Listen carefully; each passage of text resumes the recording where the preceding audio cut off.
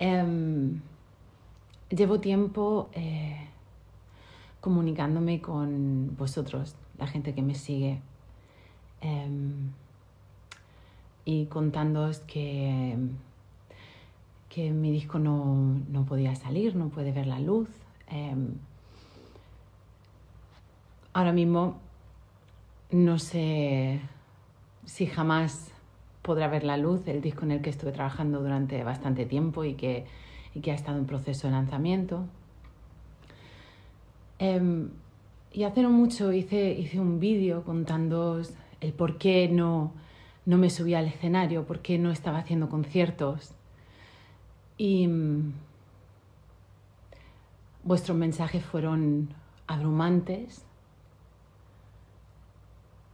y me llenaron de, de, valor a tomar la decisión y a contaros lo que os voy a contar ahora. Um, estoy más nerviosa que si hiciese un concierto. Um, me decíais, cántalo. Y si algo tenemos los artistas es que somos dueños de nuestro arte.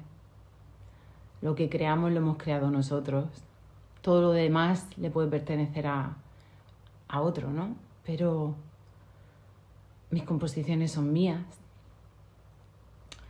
Así que vengo a contaros algo súper importante que me hace mucha ilusión. Y es que el día 9 de noviembre, por fin, me voy a subir al escenario a poder cantar mi repertorio de Crisálida.